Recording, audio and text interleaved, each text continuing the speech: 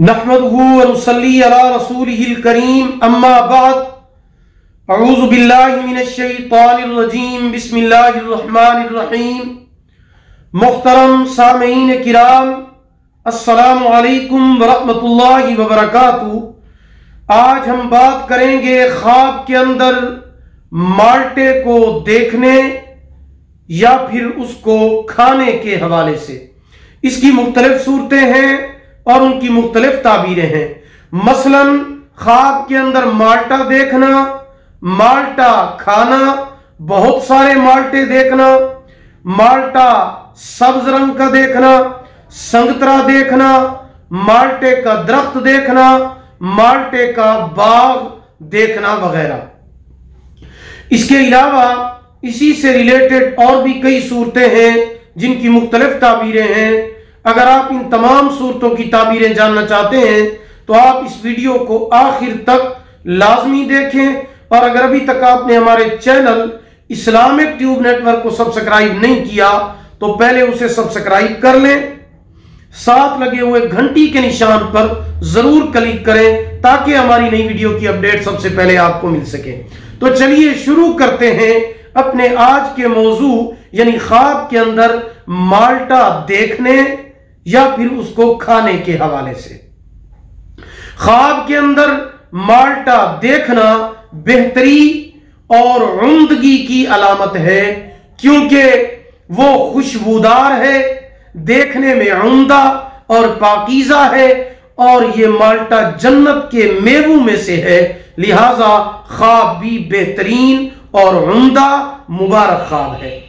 جی خواب کے اندر بہت سارے مالٹے دیکھنا، مال ملنے، نیک نامی ہونے، اولاد ہونے اور گھر آباد ہونے کی علامت ہے۔ خواب کے اندر سبز رنگ کا مالٹا دیکھنا یا کھانا بیماری اور غم کی علامت ہے۔ خواب دیکھنے والے کو چاہیے کہ صدقہ کرے، کیونکہ صدقہ آنے والی مصیبت کو ٹال دیتا ہے۔ خواب کے اندر کھٹا مالٹا کھانا پریشانی اور مصیبت کی علامت ہے۔ خواب دیکھنے والے کو چاہیے صدقہ کرے۔ خواب کے اندر میٹھا اور شیریں مالٹا کھانا آرام، راحت اور سکون ملنے کی علامت ہے۔ خواب کے اندر سنگترا دیکھنا یا کھانا حلال روزی ملنے اور دین کی اصلاح ہونے کی دلیل ہے اور مرتبہ بلند پانے کی علامت ہے۔ خواب کے اندر مالٹے کا درخت دیکھنا، برے حالات ختم ہونے اور ہر طرح کی راحت ملنے کی علامت ہے۔ خواب کے اندر مالٹے کا باغ دیکھنا، دولت، اختیار، ہاتھ آنے، کاروبار میں ترقی ہونے آرام و راحت پانے کی علامت ہے۔ خواب کے اندر ترش یعنی کھٹا مالٹا کھانا اولاد کی طرف سے تکلیف اٹھانے اور پریشان ہونے کی علامت ہے۔ خواب دیکھنے والے کو چاہیے کہ صدقہ کرے، کیونکہ رسول پاک صلی اللہ علیہ وسلم کے ارشاد ہے کہ صدقہ آنے والی مصیبتوں کو ٹال دیتا ہے۔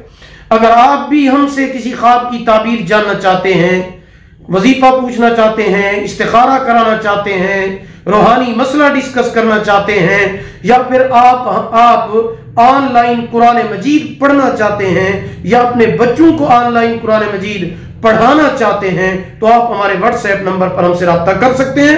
ہمارا واٹس ایپ نمبر آپ نوٹ فرما لیں۔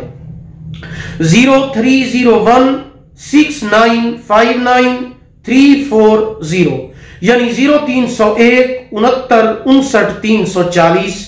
اگر آپ کو ہماری یہ ویڈیو پسند آئی ہو، اسے لائک بھی کریں اور صدقہ جاریہ سمجھ کر اسے شیئر بھی ضرور کریں۔ اللہ تعالیٰ آپ کے حامی و ناصر ہوں۔ اللہ پاک آپ کو جزائے خیر عطا فرمائے۔ آخر دعوانا الحمدللہ رب العالمین۔